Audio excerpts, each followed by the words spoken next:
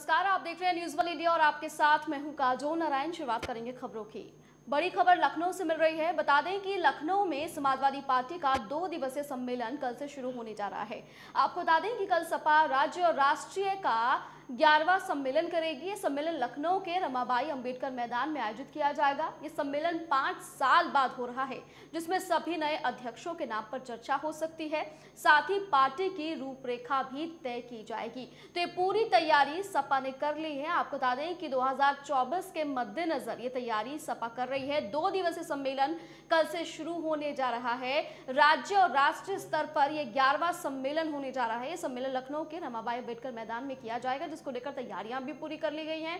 पाँच साल बाद ये सम्मेलन हो रहा है, सभी नए अध्यक्षों के नामों पर भी चर्चा की जाएगी। पार्टी की आगे किस तरह से काम होगा, इसकी रूपरेखा भी तय की जाएगी।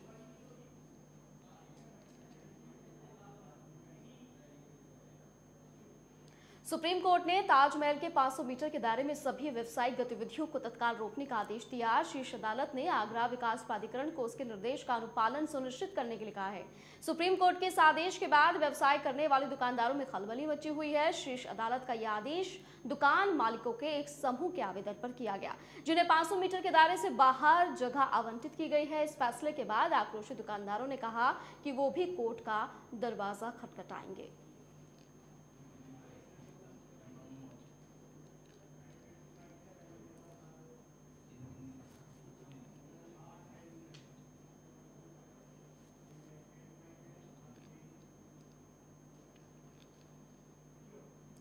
हरदोई में बीते 10 अगस्त को जमकर बवाल हुआ था। मामले में नगर पंचायत के पूर्व अध्यक्ष सपा नेता समेत पाँच नामजद आरोपियों पर केस दर्ज किया गया। इसके अलावा 200 अज्ञातों के खिलाफ भी घर में घुसकर बवाल और फायरिंग करने के आरोप में रिपोर्ट दर्ज हुई थी। हरदोई के पुलिस अधीक्षक राजेश द्विवेदी समेत पुलिस विभाग के आला अधिकारी पाली कस्बे में पहुँचे। स्थिति को देखते हुए कई थानों की पुलिस फोर्स को भी तैनात किया गया था। दरअसल पाली कस्बे के मोहल्ला इमा चौक की सिद्धेश्वरी रस्तोगी के घर पर मोहल्ले के फारूक और मुन्ना समेत कई लोगों ने तमंचे के साथ घुसकर गाली गलौज की और जान से मारने की धमकी दी थी। इसके बाद एक विशेष वर्ग के लोगों ने हिंदू परिवारों के ऊपर पथराव किया था, जिसके बाद रात में स्थिति बेहद तनावपूर्ण हो गई थी। अब ऐसे में जानकारी मिल रही है कि इन सभी आरोपियों पर रासुका लगाने की तैयारियाँ हो चुकी हैं। दिनांक 10 आठ 2022 को थाना पाली में एक घटना हुई थी, जिसमें कुछ युवक, एक दूसरे युवक के घर में घुसकर उन्होंने अभद्रता करी। और उसी के दौरान एक मुलजिम मुन्ना और शहनवाज का एक वीडियो वायरल हुआ जिसमें दोनों हाथों में वह तमंचा लिए चहलकदमी कर रहा है, लोगों को डरा रहा है। इसी के ठीक बाद इन लोगों द्वारा पथराव किया गया और भी तमाम घटनाएँ की गई जिस सहारनपुर में सिद्धपीठ माँ शाकुंभरी देवी मंदिर परिसर में शारदीय नवरात्रों पर लगने वाले मेले का उद्घाटन, पूजा अर्चना के बाद प्रदेश सरकार के राज्य मंत्री जसवंत सिंह सैनी ने फीता काटकर किया। शारदीय नवरात्रों के प्रथम दिन सिद्धपीठ माँ शाकुंभरी देवी मंदिर परिसर में लगने वाले मेले के उद्घाटन अवसर पर पहले मंत्रोच्चारण के साथ पूजा अर्चना की गई। उसके बाद प्रदेश सरकार के राज्य मंत्री जसवंत सिंह सैनी ने फीता काटकर और नारियल फोड़कर मेले का उद्घाटन किया।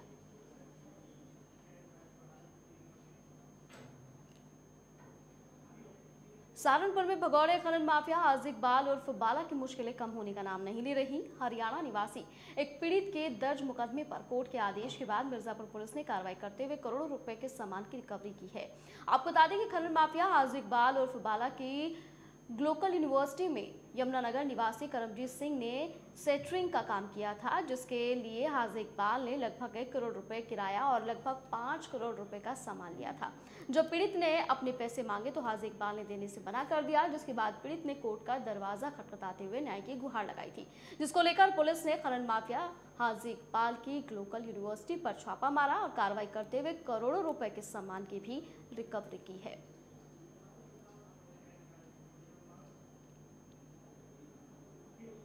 फिरोजाबाद के नगला बधुआ गाँव में तैनात शिक्षा मित्र सत्यवती की अचानक तबियत बिगड़ गई, जिसके बाद उनके परिजनों ने उन्हें सिरसागंज सीएचसी में भर्ती करा दिया। हालत गंभीर होने की वजह से उन्हें शिकोहाबाद जिला संयुक्त चिकित्सालय लाया गया। शिक्षा मित्र सत्यवती का आरोप है कि उसे खंड शिक्षा अधिकारी परेशान कर रहे हैं, जिसकी वजह से उनकी हालत बिगड़ गई है। मायाराम के ब्लॉक अध्यक्ष अमित यादव का फ़ोन आया कि सिस्टर में सत्यवती की हालत बहुत ज़्यादा बिगड़ गई है। बीओ मानसिक उत्पीड़न कर रहे हैं। जिसे कतई बर्दाश्त नहीं किया जाएगा किसी भी कीमत पर हम सभी शिक्षक मिलकर इसका मामला ये है कि ए बी एस खंड शिक्षा अधिकारी ने मम्मी को मेंटली प्रेशराइज किया। वो मतलब ब्लॉक में गई थी किसी साइन के मामले से साइन करवाना था पुरानी पेंशन को लेके। साइन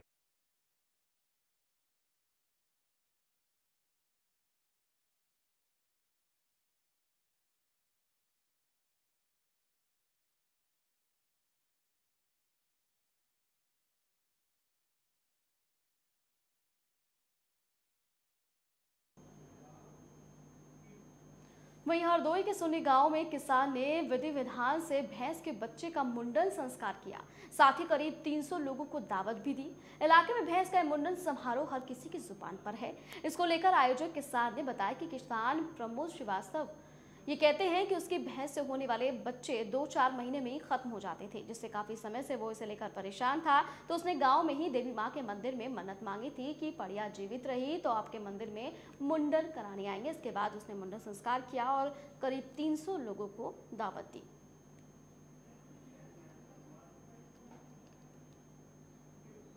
और संभल से बड़ी जानकारी, जहाँ मासूम से रेप के बाद मिट्टी का तेल छिड़ककर रेप पीड़िता की आग लगाकर हत्या करने की कोशिश की गई थी और केस में रेपिस्ट हत्यारे को पॉस्को एक्ट ने दोषी मानते हुए आजीवन कारावास और बीस हज़ार की जुर्माने की सजा सुनाई। मामला हज़रत नगर गढ़ी थाना क्षेत्र का है, जहाँ 11 साल की मासूम को बंधक बनाया गया। उसके बाद पड़ोस के ही युवक ने रेप किया और मिट्टी का तेल डालकर आग के हवाले कर दिया था।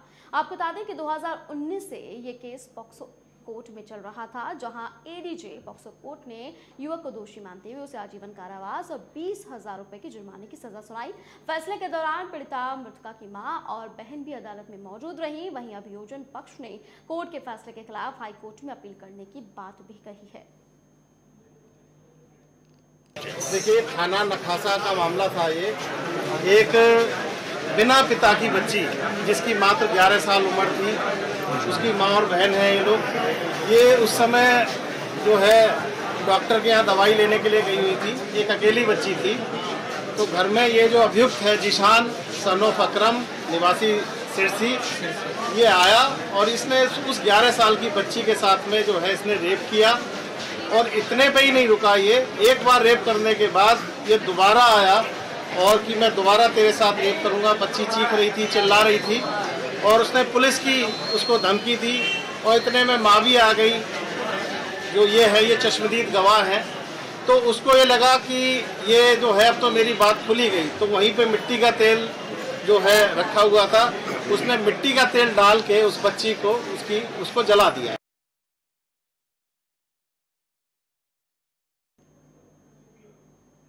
उत्तर प्रदेश सरकार के मत्स्य विभाग मंत्री और निषाद पार्टी के राष्ट्रीय अध्यक्ष डॉक्टर संजय निषाद बस्ती पहुँचे और मंडलीय कार्यकर्ता सम्मेलन को संबोधित किया। मीडिया से मुखातिब होते हुए उन्होंने ओम प्रकाश राजभर पर तंज कसा। उन्होंने कहा कि राजभर भैया को समझना तो बहुत कठिन है। राजभर भैया का पैर एक जगह नहीं रहता। बीजेपी के साथ थे तो हीरो हो गए। फिर सलाहकार नियुक्त कर दिया गया। सलाहकार ने उन्हें कहाँ पहुँचा दिया? मैं उन्हें सलाह दूँगा कि जो घर में तोड़फोड़ मचा है, पहले उसे संभाल लें। अब राजभर भैया को समझना तो बहुत कठिन है। और खुदे देख लीजिए, राजभर भैया पैर एक जगह खाता नहीं है। भारतीय जनता पार्टी के साथ थे ज़ीरो हो गए। सत्रह बरस से पार्टी बनाए थे, हमसे हमसे पहले पार्टी बनाए। ज़ीरो चल रहे थे, भारतीय जनता पार्टी के साथ आए, हीरो हो गए। फिर सलाहकार ऐसा नियुक्त कर दिया कि सलाहकार ने उन्हें कहाँ पहुँचा दिया। तो मैं तो उन्हें सलाह दूँगा कि जिस पार्टी के लिए अपने घर के अंदर जो तोड़ फोड़ मचा हुआ है, पहले उसे संभालें।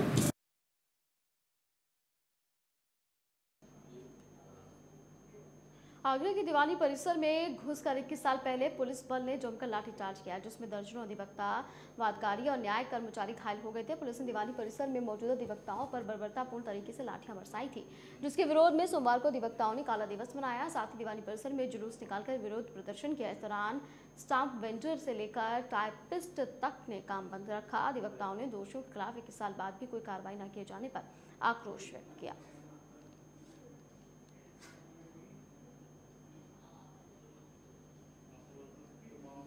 अमेठी के पुलिस अधीक्षक डॉक्टर इलामरन का एक वीडियो सोशल मीडिया पर वायरल हो रहा है। दरअसल पुलिस अधीक्षक का सिविल ड्रेस में वो दौरे पर थे और इस दौरान अंतु रोड पर बाइक पर सवार ट्रिपलिंग जो लोग कर रहे थे, उसको पुलिस अधीक्षक ने दौड़ाकर पकड़ लिया, जिसके बाद उनका वीडियो सोशल मीडिया पर वायरल हुआ।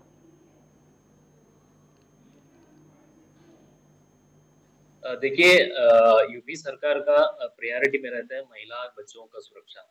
इसी क्रम में मिशन शक्ति का अभियान भी चल रहा है।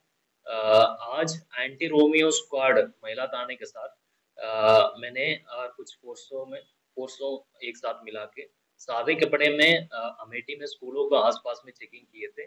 चेकिंग के दौरान कुछ कम उम्र का लड़के हैं, वो बिना मतलब वहाँ घूम रहे थे। इन लोगों को पकड़ के पूछताछ किए थे। पूछताछ के बाद कुछ संदिग्ध लगाए। उन लोगों का आगे कार्रवाई करने के लिए ताने भेजा गया है।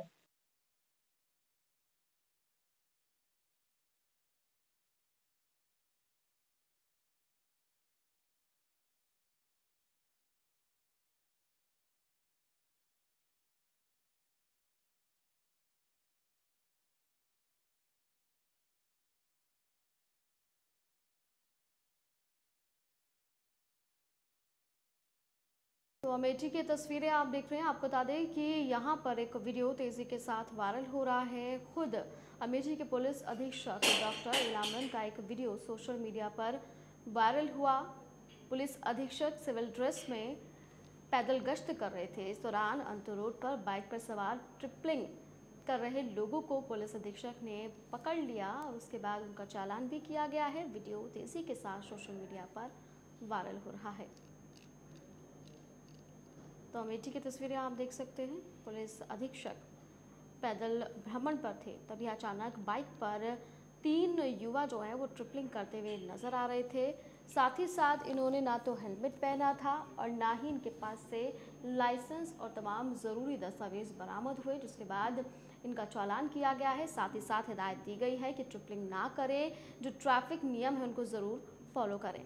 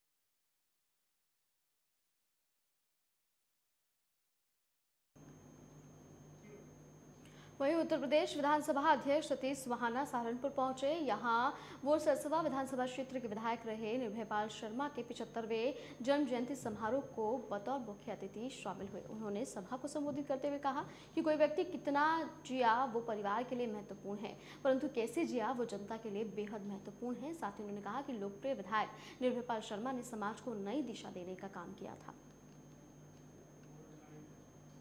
आज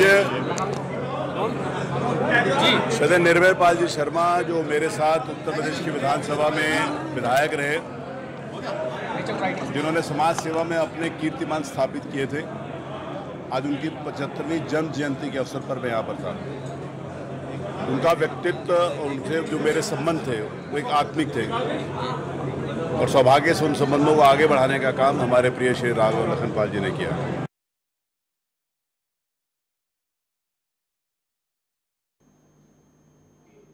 सहारनपुर के थाना सरसावा क्षेत्र के शाहजापुर फाटक के पास रेलवे लाइन के नीचे की मिट्टी खिसकने से ट्रैक दो फीट तक नीचे बैठ गया। आनंद फानन में अमृतसर से सहरसा जाने वाली ट्रेन को घटनास्थल से 200 मीटर पहले रोका गया।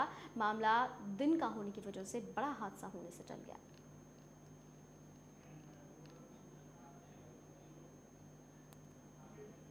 गोरखपुर में शारदीय नवरात्र को लेकर मुख्यमंत्री योगी आदित्यनाथ ने मठ के पहले तल पर स्थित शक्तिपीठ में वैदिक मंत्रोच्चार के बीच कलश स्थापना कर प्रथम दिन माँ शैलपुत्री की विधि विधान से पूजा की। पहले दिन का अनुष्ठान करीब दो घंटे तक चला। कलश स्थापना के पहले गोरखनाथ मंदिर परिसर में परंपरागत भव्य कलश शोभा यात्रा श्रद्धा भाव से निकाली गई।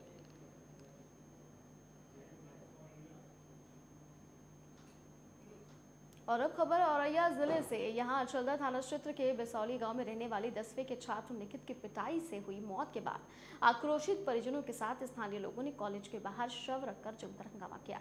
लोगों के साथ भीम आर्मी के कार्यकर्ता भी मौके पर पहुंचकर दलित छात्र की हुई मौत के मामले में आरोपी शिक्षक की गिरफ्तारी की मांग को लेकर जमकर प्रदर्शन किया। मामले को लेकर एसपी चारू निगम ने आरोपी शिक्षक की गिरफ्तारी की टीम का गठन कर दिया है।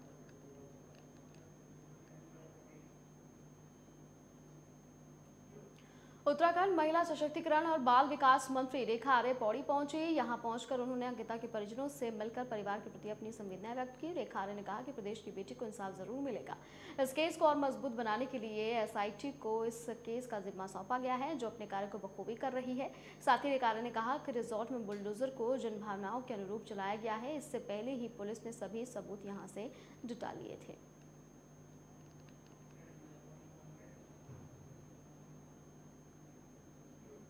कांग्रेस के पूर्व प्रदेश अध्यक्ष प्रीतम सिंह ने मृतका अंकिता भंडारी के घर पहुंचकर परिजनों से मुलाकात कर संवेदना व्यक्त करते हुए परिवार को भरोसा दिलाया है कि उन्हें न्याय ज़रूर मिलेगा।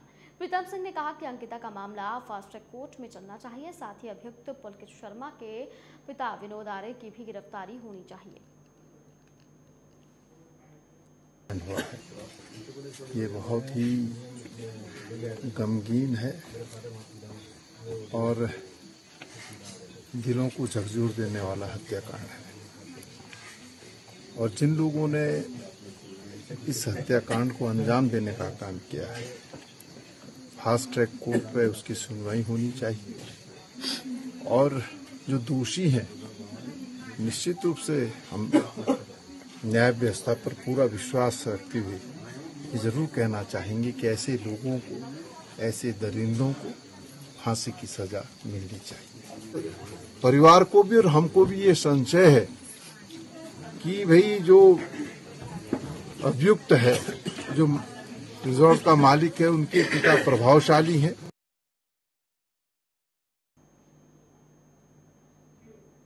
राज्य सरकार ने धान खरीद नीति जारी कर दी है। खरीद को पूरी तरह ऑनलाइन करते हुए दो सौ निन्यानवे टोल केंद्र बनाकर कालाबाजारी रोकने के ज़बरदस्त दावे किए गए, जिस पर पूर्व दर्जा राज्य मंत्री और प्रवक्ता उत्तराखंड कांग्रेस डॉक्टर गणेश उपाध्याय ने कहा है कि इस बार धान खरीद का लक्ष्य नौ लाख मीट्रिक टन रखा गया, जिसमें कमीशन एजेंटों से छह लाख मीट्रिक टन धान तोल की अनुमति देना गलत है। किसान और कमीशन एजेंटों को बराबर धान तोल की अनुमति होनी चाहिए। किसानों के धान का सत्यापन मौके पर जाकर पटवारियों द्वारा कराया जाना चाहिए।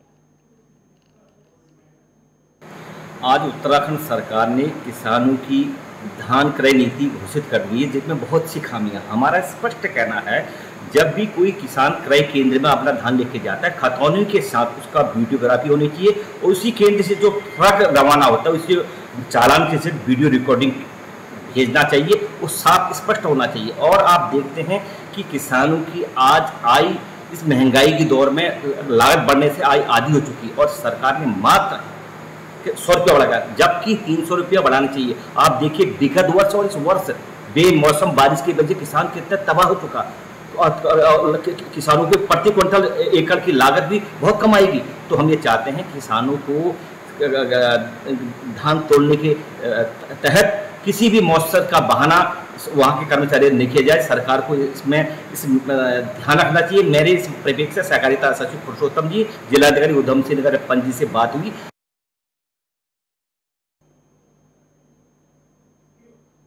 और इसी के साथ फ़िलहाल खबरों में इतना ही। आप बने रहिए न्यूज़ वाल इंडिया के साथ। Thank you.